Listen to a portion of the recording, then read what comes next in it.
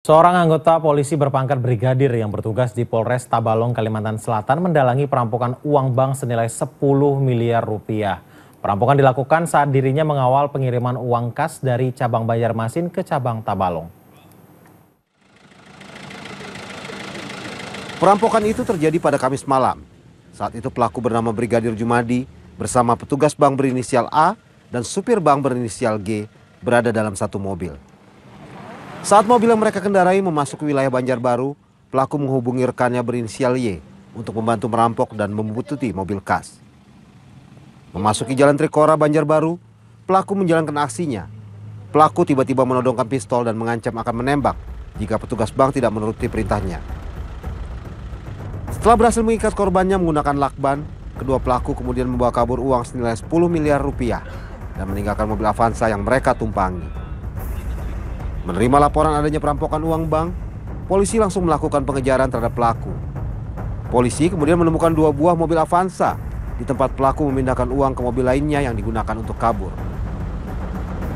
Ini mobil uh, mobil dari Tanjung uh, mau ke Banjarmasin. Gitu. Katanya bawa uang dan kita belum bisa menjelaskan karena masih melakukan penyelidikan karena masih mau olah TKP. Saat olah tempat kejadian perkara, polisi tidak menemukan barang bukti uang. Polisi mencurigai mobil yang ditumpangi bukanlah milik bank. Dari Banjarmasin, Kalimantan Selatan, Haswar Andi, RTV.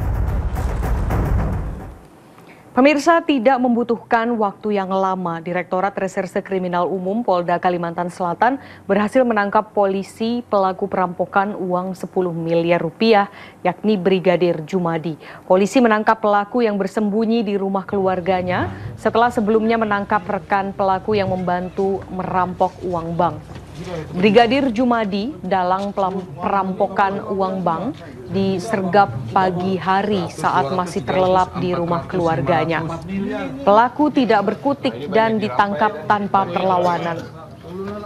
Pihak keluarga mengaku tidak mengetahui jika Brigadir Jumadi mendalangi kasus perampokan uang bank senilai 10 miliar rupiah. Untuk mengelabui petugas, sesaat setelah tiba di Tabalong, Brigadir Jumadi langsung menanam uang senilai 4,5 miliar rupiah di belakang rumah keluarganya. Jumadi berencana kabur pagi harinya ke Jakarta. Namun upaya penggerbekan yang dilakukan Dirkrimum Polda Kalsel tidak memberikan waktu bagi Brigadir Jumadi untuk meninggalkan Kalimantan Selatan. Pada penangkapan ini, polisi berhasil menemukan uang tunai berbungkus plastik berwarna biru yang ditanam oleh pelaku.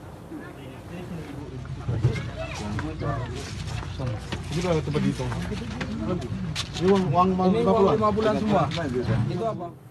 Kapolda Kalimantan Selatan Brigjen Pol Rahmat Mulyana mengatakan bahwa uang yang berhasil didapatkan anak buahnya dari penangkapan dua pelaku perampokan uang bank belum sepenuhnya ditemukan.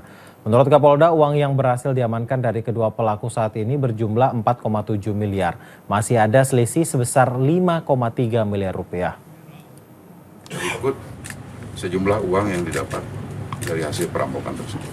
Saat ini masih kita kembangkan karena jumlah laporan polisi dengan jumlah BP yang kita temukan masih ada selisih. Ya, mudah-mudahan dalam waktu dekat dan secepat mungkin bisa kita temukan barang bukti yang ada. Yang jelas, Jumadi selain pidana umum akan kita lakukan sidang Komisi Kode Etik